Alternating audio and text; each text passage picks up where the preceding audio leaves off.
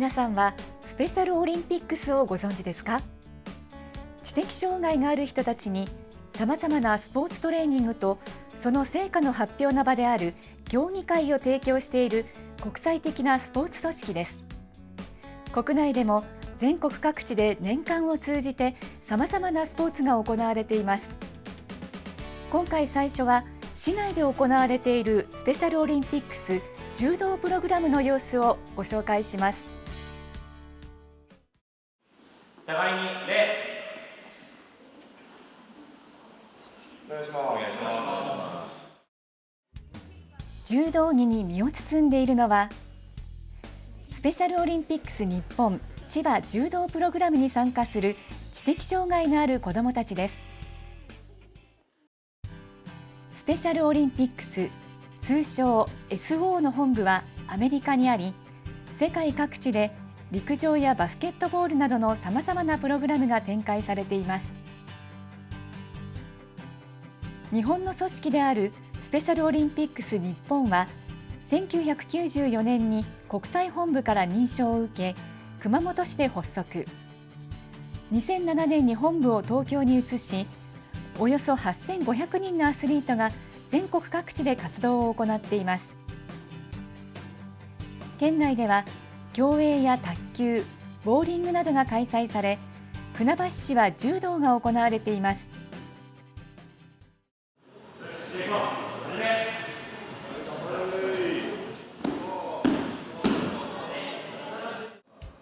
船橋市の柔道プログラムは月2回行われ6人が参加しています。スペシャルオリンピックスは6歳以上を対象としポーツ活動をしている人たちをアスリートと呼びます。コーチは現在千葉県の公立高校で教諭をしている石井洋平さん。はいじゃあ手を使って足を使ってさっきのエビ一律船橋特別支援学校に勤務したことがきっかけで昨年柔道プログラムを立ち上げました。着任したのが船橋市で、え私出身が全然違うところなんですけども右も左も分からない状況で、え船橋に、え勤めさせていただいてそういったところで恩義もありましたしその中で柔道を使って何かできるっていうことは本当に私の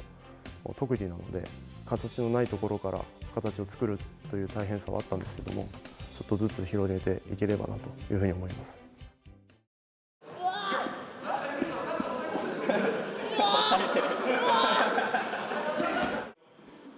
アスリートたちには強さよりも楽しさや礼儀を学んでほしいと話します。礼法だとか所作でまた気持ちの切り替えだとかそういったところで、えー落ち着きを出す生活の中で、えーしっかりとやるところはやる。ただ静かにするときは静かにする。話を聞くときは聞く。そういったメリハリをしっかりと身につけてほしいなと思っております。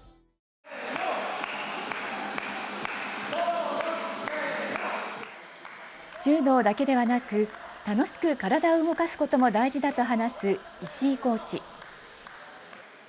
準備体操にも工夫しています。音楽を使って、えージャンプトレーニングをしている。これについてはちょっとアップテンポな音楽を使うことで、えー、もともとこう楽しい雰囲気だとかまた怪我予防につながるというところが非常にこの柔道の理にかなっているなと思って取り入れています。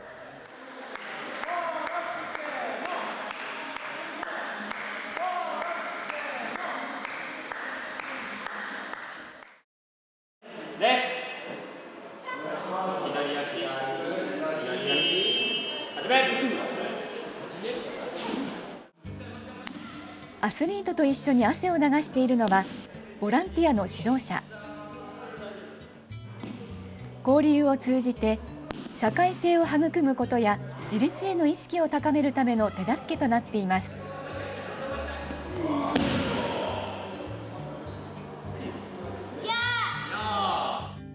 石井先生と出会って、えスペシャルオリンピックスっていうのを初めて聞きました。でこういう子どもたちなんだっていう最初理解できなくて、インターネットであるとかそういうものを調べてみたらあこういう子どもたちなんだなと。私と同じように多分知らない人が多いと思います。だから私もそれ知るようになって少しでもお手伝いできたならばという形で今参加させてもらっています。練習を見守るアスリートの家族もスペシャルオリンピックスを支える一員です。まあ、こういう子たちはなかなか自分たちで約束して友達と遊ぶっていう経験自体があの少ないのでこういうふうに友達と一緒に何か体験できるってことは貴重な体験だと思ってます。知的の子が参加できるっていうのはすごい少ないのでこういう場があるとやっぱり体を動かすことができるのですごい助かってます。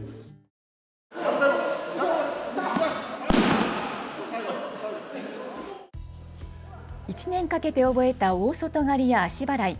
体落としの数々を決められるようにもなりました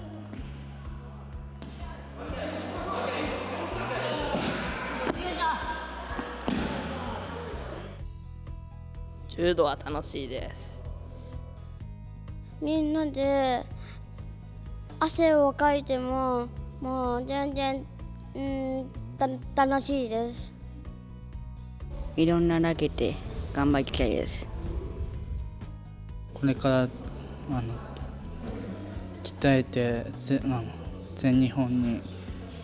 行けるように頑張りたいと思ってます。スポーツを通じて知的障害のある人のさまざまな可能性を広げるスペシャルオリンピックス楽しく体を動かすことはもちろん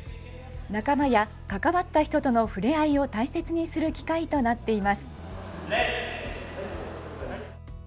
継続して1年できたっていうことが今のところの成果かなというところもありますし子どもたちと一緒にあの今後やっていく中で結果的に良かったねっていうふうに言えるようになりたいなと思います。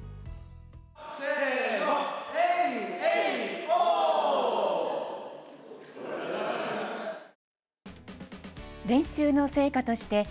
地区大会のほか全国大会や4年に一度の世界大会も行われています。アスリートの挑戦をみんなで応援しましょう。さて続いては新鮮で美味しい卵を提供している奈良養鶏園をご紹介します。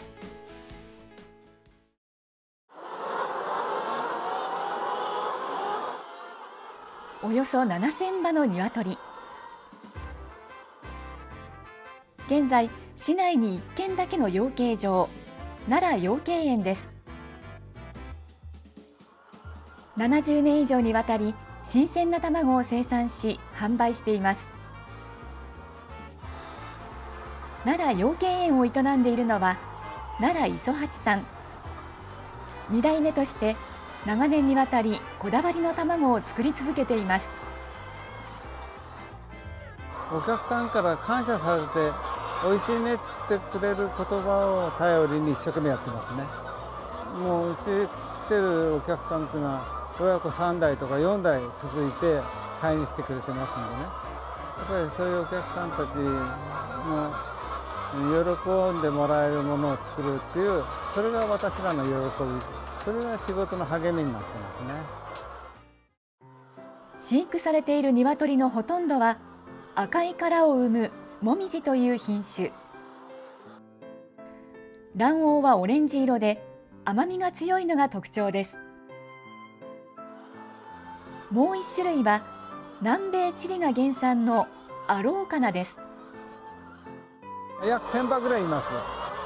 県下でもこんだけ多く飼ってるところはないんじゃないかな、ええ、アローカナの卵は青い殻が特徴で卵黄の割合がやや多くコクがあります。餌の食い方が違うんですね。そうするとそれに合わせて餌を考えたりして飼育しています。奥行きがおよそ50メートルの傾斜。鶏にストレスを与えず安心して卵が産めるように直射日光を避けいつでもきれいな水が飲めるようにくちばしが触れると出てくるパイプが設置されています午前9時。産みたての卵をスタッフが一つ一つ手作業で集めます。鶏は午前中に卵を産み1日におよそ5000個が収穫されます。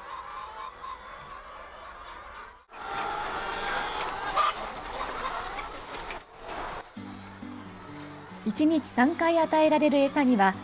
美味しい卵を産ませるある秘訣があるといいます。卵殻質を良くしたりするには海のもののカキ殻で山からと取れるタンカルとかね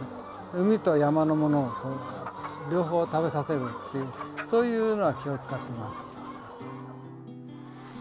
農薬や抗生物質が使われていないトウモロコシや大豆カキ殻などを自家配合し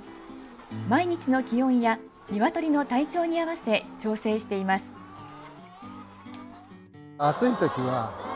卵が小さくなっていくんですよ、ね、疲れが溜まってくるとね。ですからそれに応じてじゃあ餌をもうちょっと強化した餌にしないととかってそういうのは気をつけてみています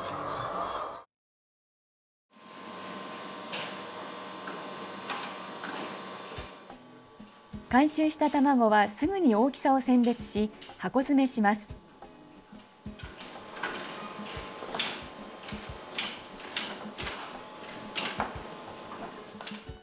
味や鮮度が抜群の奈良卵は地元のレストランや洋菓子店でも使用されています。敷地内には直売所があり連日常連客や評判を聞きつけた人が訪れます。東京から来るんですけど新鮮まず新鮮なところもうずっと奈良さんです。ほとんどあげることがお友達にプレゼントしたりあのあげるとラッキーをもう美味しかったっていう言葉が返ってきますので安心してお渡しできます。多くの人に食べてもらいたいという思いから朝市や農水産祭りなど市内のイベントでも販売しています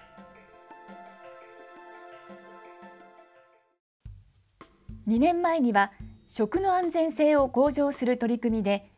厳しい衛生管理の継続が求められる農場ハサップを取得。個人経営の農家としては全国で初めてのことです。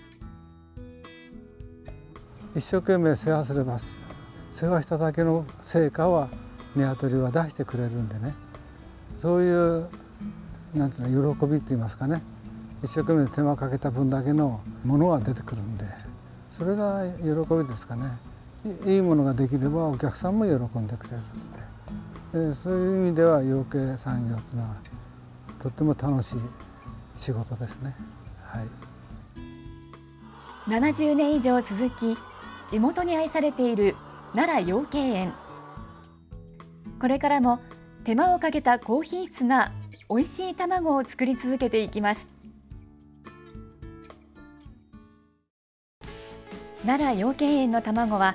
ネット販売や併設されている自動販売機でも購入できます。ぜひ地元で採れた新鮮な卵を味わってみてください。では最後にお知らせです。11月11日月曜日中央公民館で船橋市主催の引きこもり状態にある若者に関する特別講演会が開催されます。